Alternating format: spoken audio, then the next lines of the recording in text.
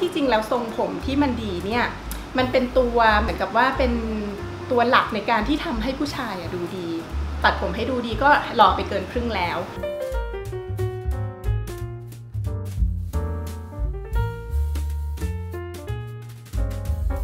สวัสดีค่ะ พี่ชื่อพี่เชอรี่นะคะ วรวิมลทัวจิตนะคะ เป็นเจ้าของร้าน Truefitt & Hill สาขา Gaysorn Village นะคะ แล้วก็เป็น partner กับ The Artisans Royal Club ซึ่งเป็นศูนย์รวมบริการแล้วก็สินค้าสำหรับ Gentlemen ตั้งแต่ช่วงแรก ๆ เริ่มที่มีการระบาดของโควิดในประเทศจีนเนี่ยทางร้านเรามีการคุยกันระหว่างทุก ๆ สาขาก่อนอยู่แล้วนะคะกับ True Fit and Heal ประเทศไทย เพื่อที่จะมาการวางแผนถึงซีนารีโอต่างๆ ที่มันจะเกิดขึ้น ว่าถ้าสมมติเฉพาะห้างนี้ปิดสาขาปิด เราจะทำยังไงเราจะจัดการลูกค้ายังไงให้โยกมาอีกสาขาหนึ่งทำยังไงก็ได้ที่ให้ลูกค้าเราได้รับความสะดวกมากที่สุดในการได้รับบริการที่มาตรฐานเหมือนเดิมกับช่างคนเดิมที่เขาคุ้นเคยนะคะเนเจอร์ของ ธุรกิจตัดผมเนี่ยมันก็จะไปขัดกับหลักการ social distancing นึกออกใช่ไหมคะ มันจะต้องมีการสัมผัสกันค่อนข้างใกล้ชิด ทีนี้เนี่ยความโชคดีในความโชคร้ายดีกว่าของร้าน True Fit and Heal ก็คือมันจะเป็นหนึ่งในแบรนด์บาร์เบอร์ไม่กี่แบรนด์นะคะที่มีผลิตภัณฑ์เป็นของตนเอง ซึ่งเราก็จะสามารถ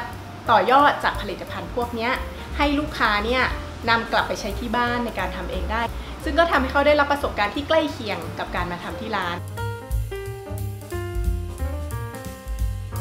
ริง ๆ แล้ว new normal มันคือ normal สำหรับร้านเรา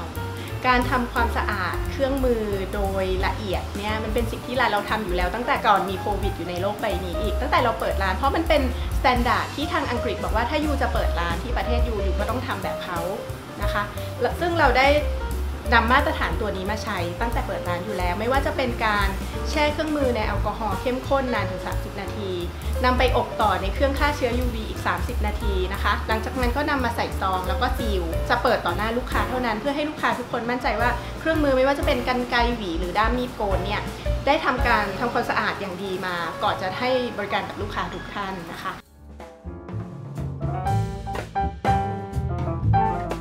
เรื่องความห่างของเก้าอี้ต้องเว้นระยะ 1 เมตร ก็เก้าอี้ร้านเราเนี่ยปกติเนี่ยเราเน้นเพื่อความสบายและความเป็นส่วนตัวกับลูกค้า เก้าอี้ร้านเราโดย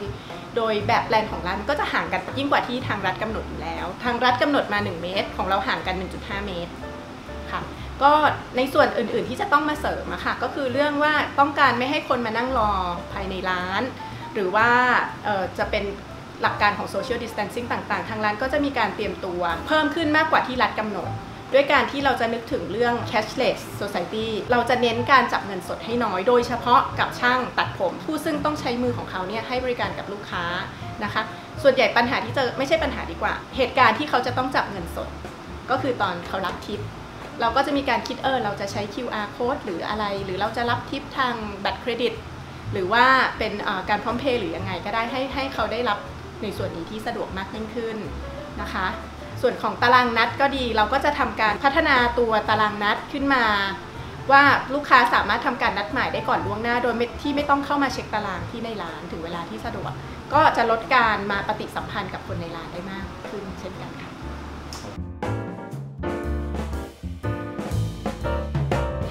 ตัวพี่เองก็อยากจะให้เราสู้ไปด้วยกันนะคะ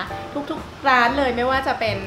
ทางร้านตัดผมที่เป็นบาร์เบอร์หรือว่าซาลอน หรือว่าร้านอื่น ๆ เลยก็ดีนะคะ อยากจะให้เอาเวลาตอนนี้ที่เราหยุดพักเราไม่สามารถให้บริการใครได้เนี่ยมานั่งปรับแผนงานของเราว่าเราจะสู้วิกฤตตัวนี้ต่อไปกันยังไง ปรับความสะอาดของร้านว่าเราจะดูแลเรื่องความสะอาด ป้องกันการแพร่เชื้อของโควิด ในต่อไปนี้ได้ยังไงบ้างนะคะ แล้วก็ใช้เวลาเหล่านี้มาคิดค้นแผนเพื่อที่จะ